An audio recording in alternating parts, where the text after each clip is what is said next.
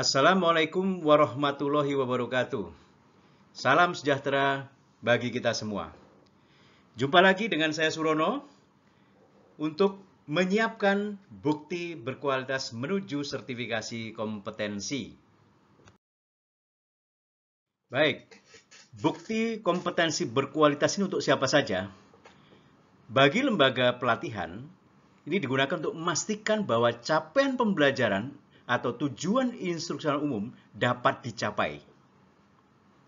Kemudian bagi pembelajar atau calon asesi untuk dapat memastikan bahwa kriteria dan standar tercapai selama proses pembelajaran dan siap untuk sertifikasi kompetensi. Berikutnya, bagi lembaga sertifikasi profesi, membantu proses asesmen sesuai prinsip-prinsip asesmen dan jaminan mutu sertifikasi. Bagi asesor, membantu proses asesmen efektif dan efisien, jaminan aturan bukti tercapai sesuai prinsip-prinsip asesmen. Sedangkan jenis-jenis bukti, ini ada tiga kelompok paling tidak. Yang pertama adalah bukti langsung, yaitu bukti praktek langsung atau demonstrasi. Kemudian produk atau jasa hasil demonstrasi atau praktek langsung. Ini adalah jenis bukti langsung. Kemudian ada bukti tidak langsung, bisa berupa portfolio yang sesuai dengan standar kompetensi, kemudian sertifikat kompetensi, sertifikat kelulusan pelatihan berbasis kompetensi, produk atau jasa hasil kerja, dan juga kinerja pekerjaan. Kemudian kelompok ketiga adalah bukti tambahan, dapat berupa pertanyaan terstruktur, jawaban pertanyaan tidak terstruktur, testimoni, dan lain-lain. Selanjutnya, seperti kita ketahui bersama, ada beberapa jenis metode assessment. Di antaranya ada observasi langsung, yaitu kerja nyata atau aktivitas demonstrasi nyata di tempat kerja, kerja dalam lingkungan tempat kerja yang disimulasikan. Kemudian kegiatan terstruktur, yaitu latihan simulasi dan permainan peran, proyek, presentasi, atau lembar tugas kegiatan. Dapat juga berupa tanya jawab, pertanyaan tertulis, wawancara, asesmen diri, tanya jawab lisan, angket, ujian lisan atau tertulis. Kemudian ada verifikasi portfolio, berupa contoh pekerjaan yang disusun oleh kandidat, produk dengan dokumentasi pendukung, bukti sejarah, jurnal atau buku catatan, informasi tentang pengalaman hidup. Kemudian ada ulasan produk atau review produk, dapat berupa testimonial dan laporan dari atasan, bukti pelatihan, pencapaian sebelumnya yang telah diautentikasi, wawancara dengan atasan, atasan atau rekan kerja, dan lain-lain. Baik, berikutnya adalah bukti berkualitas ini menuju atau menghadapi asesmen untuk berbagai tujuan asesmen. Seperti kita ketahui ya bahwa paling tidak ada sembilan tujuan asesmen ini. Yang pertama adalah untuk tujuan sertifikasi kompetensi. Yang kedua, pengakuan kompetensi terkini atau PKT yang sudah dimiliki asesi. Kemudian tujuan rekognisi pemberalian lampau atau RPL yang sekarang menjadi sedang banyak dibahas. Kemudian dalam rangka asesmen evaluasi hasil pelatihan atau proses pembelajaran. Ada juga asesmen untuk penetapan kemajuan dalam rangka pencapaian kualifikasi. Ada juga asesmen dalam rangka pengukuran kinerja. Kemudian ada untuk tujuan pengklasifikasian karyawan atau pemberian dukungan pengembangan karir. Untuk rekrutan berbasis kompetensi, pemberian lisensi, registrasi, penugasan atau persatuan regulator. Sehingga, Bapak sekalian, seorang asesor bisa menawarkan sembilan jasa ini sebenarnya. Jadi bukan hanya untuk sertifikasi kompetensi, bisa untuk jasa ini semua. Ibu sekalian, terdapat filosofi asesmen berbasis kompetensi atau CPA oleh Harris, Guti, Gorbat, dan Rupert tahun 1995 yang sampai sekarang memang masih konsisten. Jadi ada tiga filosofi di dalam asesmen berbasis kompetensi. Yang pertama adalah berbasis kriteria, yaitu penilaian berdasarkan bukti dengan hubungannya dengan standar industri atau serangkaian kriteria untuk menentukan kompetensi. Yang kedua, berbasis bukti atau evidence, yaitu suatu proses yang membandingkan bukti kompetensi dengan suatu standar. Dan yang ketiga, partisipatory, yaitu kandidat terlibat terlibat dalam proses penilaian. Ini penting para asesor atau praktisi yang melakukan asesmen tiga hal, yaitu kembali bahwa berbasis kriteria atau standar, berbasis bukti, dan partisipatori. Berikutnya adalah yang harus kita ketahui di dalam menyiapkan bukti berkualitas adalah prinsip-prinsip asesmen dan aturan bukti. Prinsip asesmen ada validitas, reliabilitas atau keandalan, fleksibilitas, fairness atau keadilan. Itu adalah prinsip-prinsip asesmen. Sedangkan aturan bukti atau evidence guide ini ada empat yaitu valid, asli, terkini, dan memadai. Baik, Ibu sekalian dan saudara-saudara sekalian, sebelum kita masuk bagaimana langkah-langkah untuk menyiapkan bukti berkualitas, saya ingin mengajak untuk memahami dan menikmati bagaimana eh, standar kompetensi mempunyai interface dan ketelusuran dengan SOP di tempat kerja, kurikulum, dan asesmen. Kita ketahui yang pertama kalau kita lihat dari uh, kolom standar, di sana ada SKKNI, ada SKKI atau Standar Kompetensi Kerja Internasional, ada SKK. Ini terdiri dari judul unit, deskripsi unit, elemen, kriteria unjuk kerja, batasan variabel, dan panduan penilaian. Walaupun beberapa standar internasional hanya sampai KUK, karena yang dua di bawah diserahkan pada masing-masing negara untuk memberikan konteks. Nah, sebenarnya standar kompetensi ini sebenarnya sudah merupakan atau merupakan hasil dari konsensus atau konvensi dari SOP-SOP-nya industri. Jadi judul unit ini sebenarnya berasal dari judul SOP untuk menghasilkan produk atau jasa. Kemudian deskripsi unit ini berasal dari ruang lingkup SOP. Elemen ini berasal dari langkah utama proses Kriteria unjuk kerja ini berasal dari instruksi kerja. Kalau di instruksi kerja ini kalimatnya adalah kalimat perintah, di dalam standar kompetensi biasanya adalah berkalimat pasif karena dia kriteria. Kemudian spek sesuai konteks ini bisa menjadi batasan variabel dan quality assurance menjadi panduan penilaian.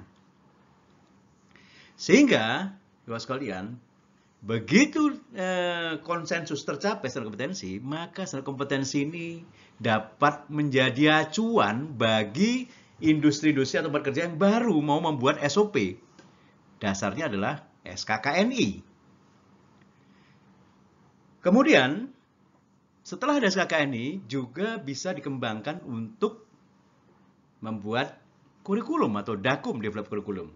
Atau sebagai secara kompetensi sebagai capaian pembelajaran.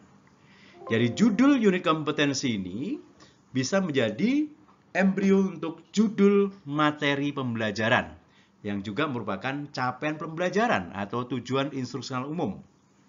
Deskripsi unit bisa membantu untuk mengembangkan ruang lingkup materi pembelajaran. Elemen bisa menjadi informasi untuk membuat tujuan instruksional khusus atau learning objective atau learning experience. Kemudian kriteria unjuk kerja ini menjadi indikator kompetensi atau kompetensi dasar. Sedangkan batasan variabel menjadi kontekstualisasi pembelajaran dan panduan penilaian menjadi evaluasi. Sehingga kita dapat membuat kurikulum ini dengan cepat kalau sudah ada standar kompetensinya. Dan kemudian bagaimana dengan asesmen? Tentu asesmen ini kan sama dengan standarnya. Karena dia tadi salah satu filosofinya adalah berbasis standar. Sehingga sini isinya sama dengan standar kompetensi. Sehingga kita bisa menikmati. Kalau sudah ada standar kompetensi, kita membuat SOP, maka kita tinggal balik ke sana, kita rubah insu kerja ini, KKUK menjadi insu kerja, menjadi kalimat perintah, maka jadilah SOP generik. Tapi kita harus masih ada tugas untuk menambah kontekstual atau konteksnya, spesifik suatu bisnis, dan employable. Kemudian, sedangkan di SKK ini sendiri, atau standar kompetensi, dia memang generik biasanya.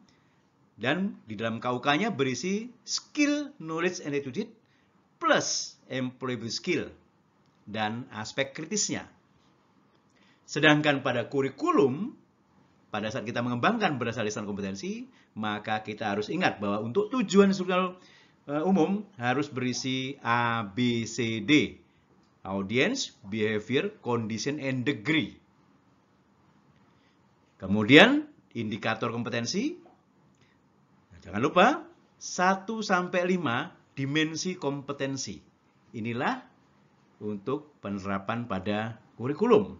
Sedangkan pada asesmen, maka kita bisa bangun asesmen diri sesuai dengan urutan ini tadi. Kemudian bukti berkualitas, 1 sampai 5 dimensi kompetensi untuk buktinya. Sehingga maka kita bisa membuat ini dengan cepat. Jika ibu sekalian dan saudara sekalian, begitu ada SAK ini baru atau sudah baru, bergembiralah. Karena kita bisa, segera untuk dapat mengembangkan SOP. Dapat segera mengembangkan kurikulum, dapat segera mengembangkan asesmen. Ini, ya, inilah interface-nya. Bukan SOP sama dengan standar kompetensi atau sama dengan kurikulum, tetapi bahwa ini ada interface dan ketelusurannya. Baik, setelah kita semua sudah bisa menikmati standar untuk mengembangkan SOP di industri, untuk mengembangkan kurikulum, dan untuk mengembangkan asesmen, mari kita masuk kepada bagaimana langkah-langkah menyiapkan bukti berkualitas untuk menuju asesmen dalam rangka sertifikasi kompetensi.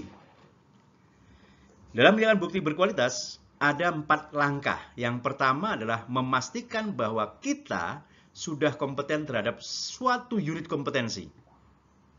Yang kedua, mengorganisasikan potensi bukti-bukti menjadi bukti berkualitas. Dan yang keempat, merekam bukti-bukti kompetensi. Langkah pertama untuk menyiapkan bukti berkualitasnya adalah memastikan bahwa kita sudah kompeten terhadap suatu unit kompetensi. Di sini ada tiga aspek yang harus kita lihat. Yang pertama adalah aspek kritis. Ini kita identifikasi dari unit kompetensi sebagai indikator kompetensi. Yang kedua adalah potensi bukti-bukti yang dimiliki atau kita miliki, diidentifikasi kecukupannya sesuai unit kompetensi. Dan yang ketiga, kita lakukan asesmen mandiri, dilakukan sesuai unit kompetensi dan potensi yang dimiliki. Aspek kritis dalam unit kompetensi dapat berupa aturan atau aspek yang menguraikan apa yang sebenarnya perlu dilakukan orang tersebut untuk melakukan pekerjaan mereka atau sebagai keterampilan kritis umumnya terdiri dari produk dan atau catatan proses atau rekaman proses. Juga merupakan penjelasan tentang aspek atau kondisi yang sangat mempengaruhi dan menentukan keberhasilan pelaksanaan unit kompetensi.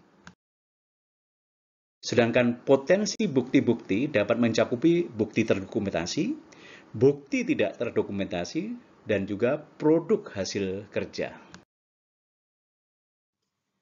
Selanjutnya mengenai asesmen mandiri ini dapat dideskripsikan sebagai proses memandang diri sendiri untuk menilai aspek-aspek yang penting bagi kompetensi seseorang. Juga merupakan proses memandang diri sendiri untuk menilai aspek-aspek yang penting bagi identitas seseorang. Dan yang tidak kalah penting adalah ini merupakan bentuk partisipatori dan bahwa kualitas kompetensi juga menjadi tanggung jawab asesi. Langkah kedua adalah mengorganisasikan potensi bukti-bukti menjadi bukti berkualitas. Yang pertama adalah hasil kinerja kompetensi atau outcome diidentifikasi. Yang kedua, produk akhir kinerja berupa fisik dipastikan sesuai dengan standar kompetensi. Kemudian produk yang sekaligus hasil rekaman disiapkan sebagai bukti menghasilkan produk akhir dan proses yang sesuai. Dan produk akhir kinerja berupa proses disiapkan untuk rekaman proses. Baik, yang pertama dalam mengorganisakan potensi bukti-bukti berkualitas adalah dari hasil kinerja ini dapat mencakupi produk berupa fisik, kemudian berupa jasa, kemudian rekaman proses pelaksanaan tugas, dan juga bukti lima dimensi kompetensi. Sedangkan produk akhir kinerja berupa fisik dapat mencakupi produk habis pakai, produk tidak habis pakai, bangunan fisik, rekaman elektronik, video, film, dan lain-lain. Kemudian standar produk dapat mencakupi SNI atau Standar Nasional Indonesia, standar perusahaan, standar asosiasi konsumen, ataupun standar pembeli. Sedangkan produk akhir kinerja berupa proses dapat mencakupi rekaman proses pelayanan jasa, juga rekaman proses pelaksanaan pekerjaan. Berikut adalah contoh untuk produk akhir yang sekaligus rekaman. Ini contohnya adalah membuat rencana sesuatu misalnya, hasilnya rencana. Membuat program, hasilnya program. Membuat kurikulum, hasilnya kurikulum yang proses rekaman prosesnya menjadi utuh menjadi hasil yaitu rencana, program, kurikulum. Berikutnya adalah bukti dimensi kompetensi. Ini penting sekali untuk memberikan suatu ciri-ciri bahwa SDM-nya unggul. Yang pertama untuk dimensi kompetensi, task skill. Nah, bukti kompetensi seperti apa? Rekaman proses dan atau produk. Kemudian juga produk atau jasa di tempat kerja. Ini buktinya. Kemudian task management skill, ini berupa, berupa bukti peran mengelola pekerjaan, beberapa unit kompetensi yang sudah kompeten, jumlah unit dapat dilihat sesuai paket pelatihan atau skema sertifikasi dari KKNI, okupasi nasional, klaster, proyek, atau unit kompetensi. Kemudian, kontingensi manajemen skill. Nah, di sini dari pengalaman masalah-masalah apa yang dihadapi di dalam menjalankan task skill-nya. Kemudian bagaimana mengatasi dan atau mengelola masalah tersebut. Kita berikan input di sana dari pengalaman kita bekerja. Berikutnya adalah jobs rule environment skill. Ini juga persyaratan tempat kerja yang baik. Kita berikan di sana informasinya. Kemudian peran kerja kita apa untuk memenuhi persyaratan tempat kerja tadi. Kemudian yang kelima, transfer skill. Nah, ini kita bisa berikan bukti menerapkan atau transfer unit pada konteks-konteks baru lain. Kita tulis apa misalnya di sini. Kemudian bukti menerapkan transfer unit pada spesifikasi atau standar baru. Tuliskan di sini. Bukti menerapkan standar atau transfer unit pada lokasi atau wilayah baru. Ini adalah bukti dimensi kompetensi kelima-lima dimensi. Kita bisa rekam di dalam e, tabel semacam ini. Kemudian langkah ketiga dari menyiapkan bukti berkualitas adalah menyusun atau menyusun formulir rekaman kegiatan dalam unit kompetensi. Kita harus siapkan judul formulir, diidentifikasi sesuai dengan judul unit kompetensi, kolom tabel formulir disiapkan, isi pernyataan dalam kolom diidentifikasi sesuai dengan unit kompetensi, dan baris verifikasi bukti-bukti diidentifikasi. Pada judul formulir dapat mencakupi sesuai judul unit yang pertama. Yang kedua bisa juga sesuai judul unit dengan dikurangi kata kerjanya bila perlu akhir kinerja berupa jasa atau proses. Baik, seperti apa bentuk rekaman formulir yang harus kita siapkan untuk membangun atau memformat dari bukti-bukti berkualitas ini. Kalau kita sudah mendapatkan judul kompetensi, maka judul di dalam rekaman di sini adalah judul di sini. Tadi sudah kita bahas, kalau judulnya hanya berupa proses, tidak ada hasil yang e, berupa fisik, maka judulnya sesuai judul unit kompetensi. Tetapi apabila judul ini atau kompetensi nanti berupa hasil yang judulnya sama dengan unit, artinya hasilnya, maka kita tulis hasilnya. Jadi tadi sudah kita bahas kalau misalnya membuat rencana bisnis, maka hasilnya adalah rencana bisnis judulnya di sini. Kemudian langkah-langkahnya, ya, ini adalah sesuai elemen. Kita isi sesuai elemen. Jadi langkah-langkah ini di sini ada elemen. Kemudian di sini ada kriteria sesuai KUK dalam keadaan pasif dan diberi penekanan. Subjek setiap KUK diberi huruf tebal. Sedangkan di kolom berikutnya adalah rekaman hasil dapat berupa pilihan sesuai dengan batasan variabel atau isian, keterangan, gambar, video, link pada kriteria yang diberi cetak tebal tadi. Jadi bisa berupa list, pilihan, bisa juga keterangan, gambar, video, dan sebagainya. Kemudian ini adalah bukti-bukti yang kita hasilkan dari setiap langkah atau elemen maupun kriteria. Baru terakhir ada verifikasi pihak yang relevan.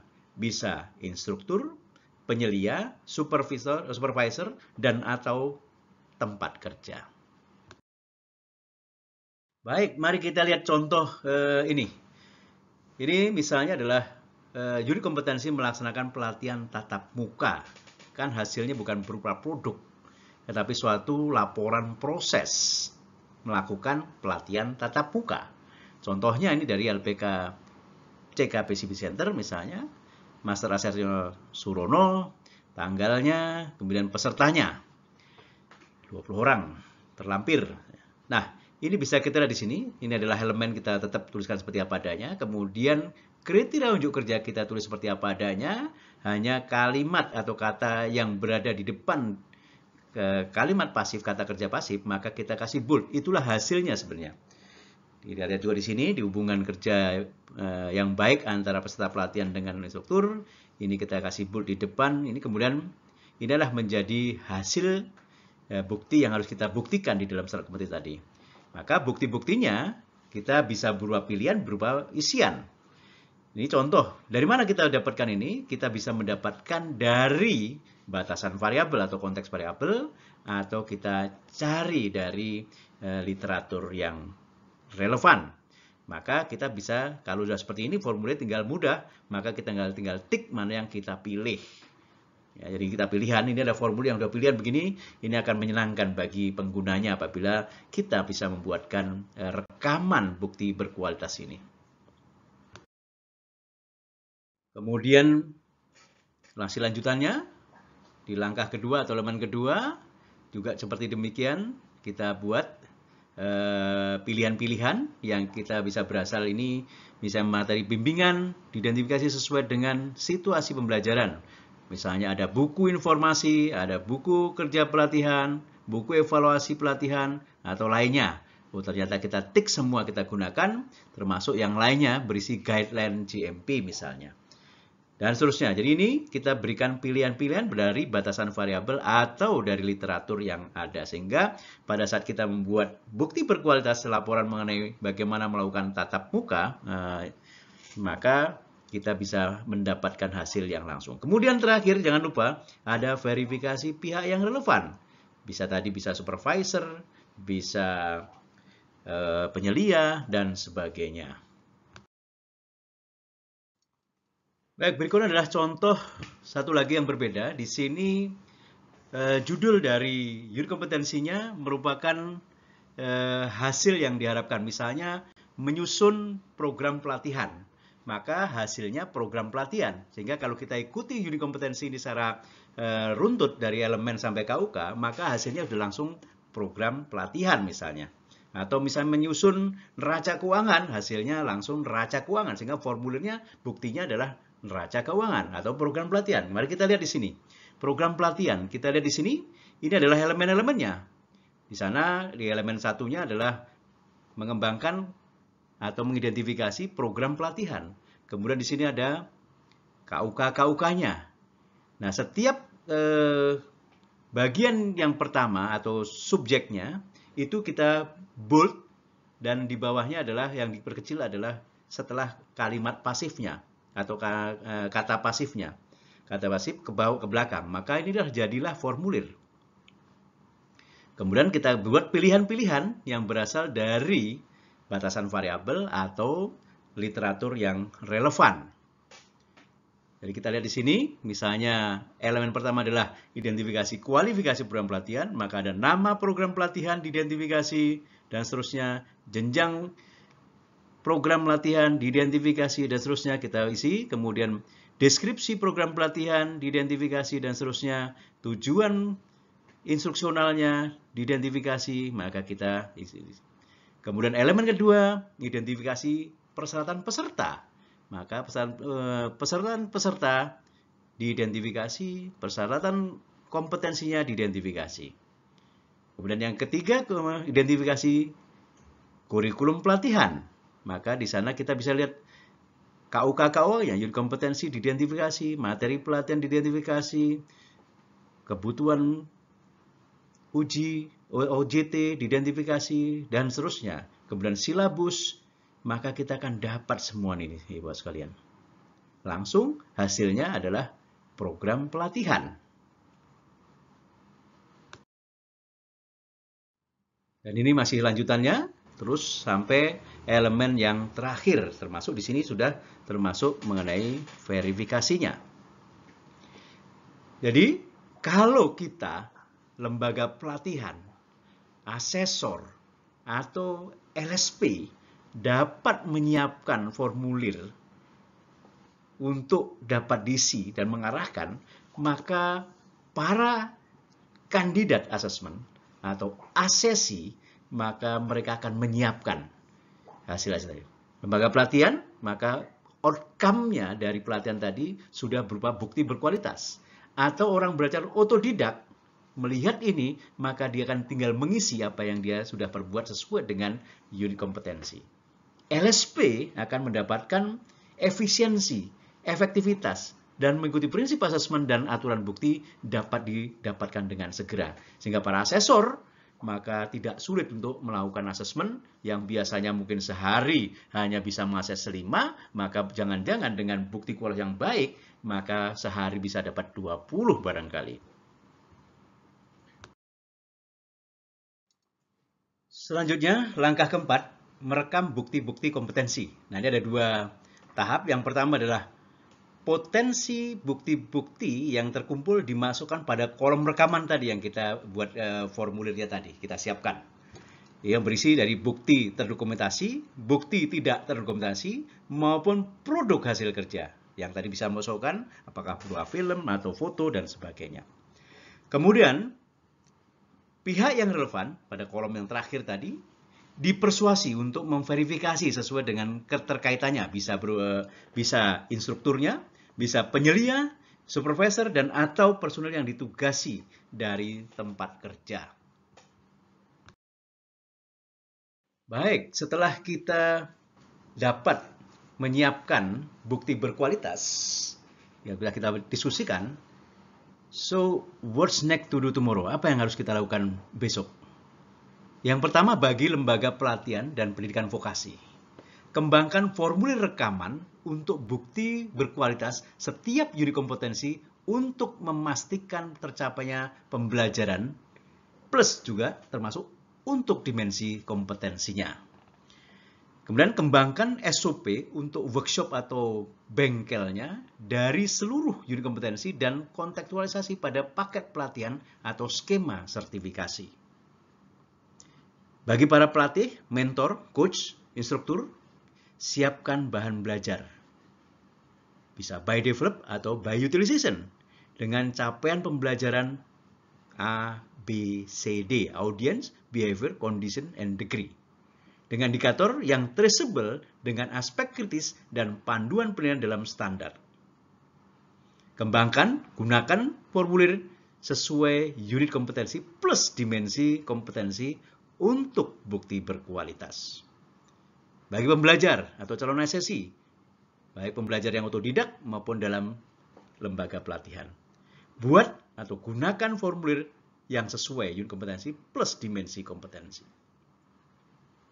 Bagi LSP, mengkomunikasikan bagaimana menyiapkan bukti berkualitas pada calon klien, LPK, LKP, lembaga pendidikan, masyarakat yang belajar mandiri.